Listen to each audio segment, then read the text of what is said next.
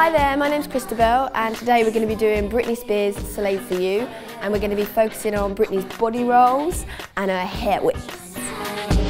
Baby, don't you wanna dance up on me?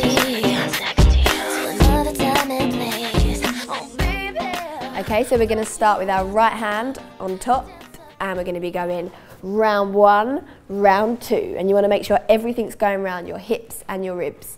So we're going one, two, three, four. Your hands go up above your head, you cross over, you're rippling Britney body roll here, boobs, then bum, boobs, then bum. So we go one, two, three, four, five, six, seven, eight. You're giving it a little step to the side and a hip, step to the side, hip. Then we're going to be whipping our hair like Britney whip it and whip it. It goes all the way around, round in a circle. Then you give it a little like that.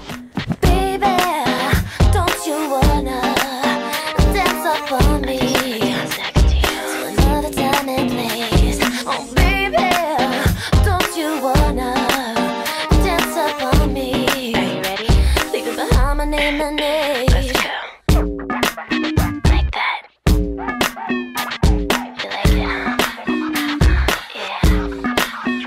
watch me.